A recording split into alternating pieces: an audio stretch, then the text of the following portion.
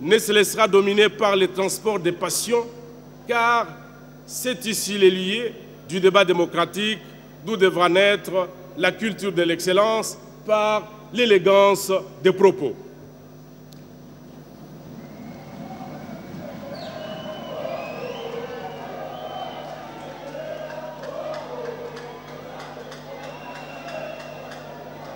Ensemble avec vous,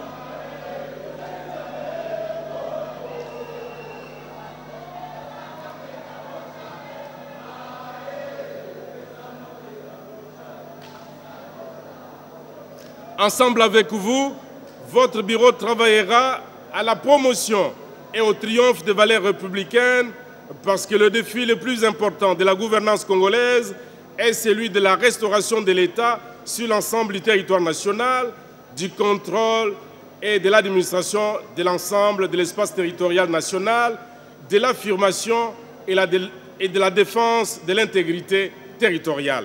C'est pourquoi, même si l'État est en soi un spectacle, l'Assemblée nationale devra lutter contre l'État spectacle qui n'est que supercherie et, négation des droits des citoyens parce que justement celui-ci débouche sur les, les parlementarisme incompatible avec les exigences d'un État de droit qui se construit chaque jour en vue de répondre aux aspirations de son peuple la modernisation de nos relations avec les pays voisins, la capitalisation de la présence de la communauté internationale et l'accompagnement quotidien des efforts du gouvernement dans la lutte contre la misère et le sous-développement nous obligent à concentrer nos efforts et notre ardeur patriotique à mieux nous insérer de façon volontariste et déterminée au système mondial actuel de la politique, de l'économie et des finances. Il nous faudra parvenir à aider le gouvernement à la réqualification substantielle et fondamentale de sa vision diplomatique et stratégique du monde et de ses relations avec les pays voisins. L'impact des mutations géostratégiques mondiales sur la géopolitique de la stabilité régionale de l'Afrique centrale autour de la région des Grands Lacs devrait amener l'Assemblée nationale à s'intéresser à la transformation de la puissance régionale et à en tirer les conséquences prévisibles et imprévisibles quant à la capacité de la République démocratique du Congo à demeurer une nation pivot et un État central dans la construction des équilibres géopolitiques régionaux. Pour y parvenir, nous avons conçu de nous atteler à la restauration de la dignité et l'honneur du député sous tous les aspects de sa vie sociale, économique et financière politique et diplomatique et finalement sous ses aspects humains. La garantie des soins de santé sera pour votre bureau une exigence prioritaire parce que les députés sont des hommes et des femmes qui ne peuvent donner les meilleurs d'eux-mêmes que lorsqu'ils sont en parfaite santé. Détenteur des mandats politiques de représentation nationale, le député a besoin de jouir de sa pleine immunité et de l'inviolabilité de sa personne dans ses rapports avec les autres institutions ainsi qu'avec le service public de l'État.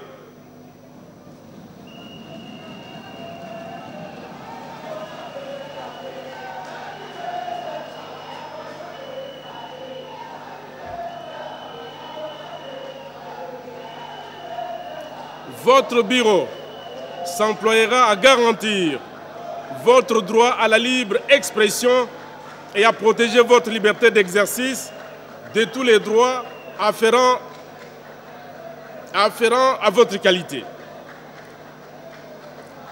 Et puisque la parfaite santé du député nécessite des moyens, les bureaux s'engagent à instaurer une gestion transparente des finances de l'Assemblée nationale et de toutes les ressources mises à sa disposition et sollicite de votre part des propositions susceptibles de concourir à cette fin.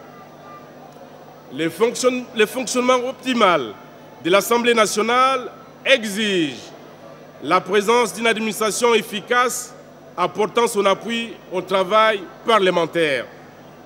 Tout en déplorant les conditions actuelles des agents et fonctionnaires de l'Assemblée nationale, nous ferons de l'amélioration de leur situation une priorité. Honorables députés et chers collègues, voilà succinctement les grandes lignes de l'itinéraire politique que nous entendons parcourir ensemble avec vous. Aussi volontariste que déterminé, nous pensons que vous aurez ainsi compris que l'Assemblée nationale ne saurait point se réduire à un syndicat des intérêts partisans et corporatistes sans trahir sa nature et sa vocation d'institution majeure de la construction de la jeune démocratie parlementaire congolaise. Je ne voudrais pas ici formuler trop de promesses car, après tout, rien ne vaut les faits. En politique, je ne cherche pas à vaincre, mais simplement à convaincre. C'est pourquoi, comme le disait Baudelaire, il me faudra plonger au fond de l'inconnu pour trouver du nouveau. C'est cela qui apportera du tonus à l'ensemble de nos activités, car nous devons nous situer à la hauteur de sacrifice de notre peuple, desquels nous tirons les moyens de fonctionnement de notre institution. Nous avons ensemble, tous les députés, une obligation de résultat. Le débat parlementaire, je le répète, sera démocratique et respectueux de nos opinions politiques. Mais au-delà de la majorité et de l'opposition, il y a la République, qui est le bien de tous et que nous devons protéger sans calcul ni condition. Comment terminer sans rappeler cette phrase que Raoul Peck, le réalisateur haïtien du film Lumumba, place dans la bouche du héros? Le Congo est grand et il exige de nous la grandeur. Je vous exhorte dans cet hémicycle à faire de la grandeur du Congo notre suprême loi. Je vous remercie.